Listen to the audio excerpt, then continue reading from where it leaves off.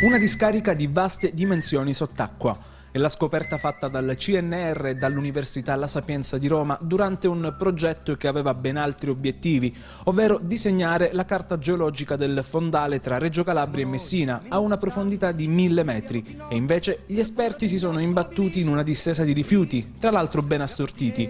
Per capire di più il progetto e soprattutto come tutta quell'ammasso di spazzatura sia finita in quella profondità, abbiamo intervistato il responsabile della ricerca sugli impatti antropici sul mare profondo, il professore della Sapienza e associato CNR, Francesco Latino Chiocci. Lo stretto di Messina, a causa della diciamo, sua conformazione geologica, è un, diciamo, è, un, è un, posto quasi unico in Italia, perché questi forti sollevamenti tettonici che fanno sollevare la crosta fanno sì che di avere catene montuose molto prossime alla costa e quindi delle fiumare con corsi molto stretti e ripidi che in corrispondenza di piogge catastrofiche possono portare grandi quantità di detrito come immagino voi calabresi ben, ben sapete. Questo è vero per tutta quanta l'area peloritana. Allora il fatto di aver trovato questi detriti a mille metri di, di profondità ci fece pensare che potevano effettivamente venire dai letti delle fiumare che per esperienza personale sapevamo alcune volte venivano utilizzati in maniera impropria come discariche diciamo abusive.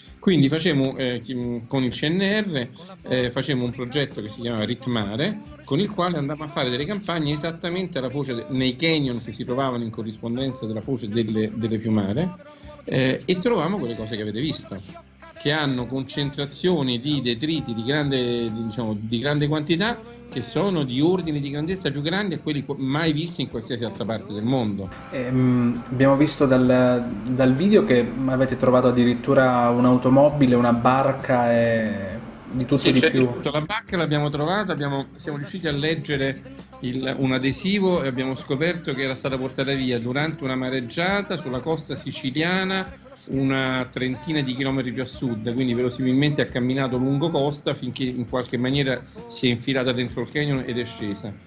E la macchina invece stava nel versante calabrese e abbiamo visto prima una ruota, eh, pensavo fosse solamente un copertore, poi invece abbiamo visto anche le altre quattro e quindi è completamente sepolta dal sedimento, escono fuori solamente le, le quattro ruote.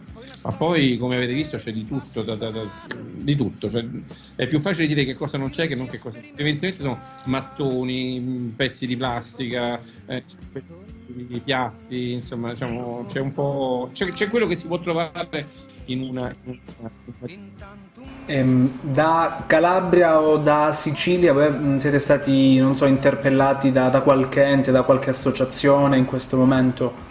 Assolutamente no, assolutamente no. Per ora gli unici che ci hanno contattato sono, diciamo, è la stampa. Dopodiché, se vuole un'altra preoccupazione che abbiamo, ma questo parlo come comunità scientifica in generale, diciamo, geologi, biologi, oceanografi, è che attualmente siamo anche rimasti senza navi, quindi questa ricerca l'abbiamo fatta due anni fa con una nave del CNR poi per problemi di budget sia il CNR sia, il, um, sia l'OGS sia le università non hanno più navi oceanografiche e quindi in realtà questo tipo di investigazioni che hanno dei risvolti sociali importanti oltre che scientifici di base in realtà oggi non si possono più fare quindi è, diciamo, anche questa è un'altra preoccupazione diciamo, se vuole che si aggiungi.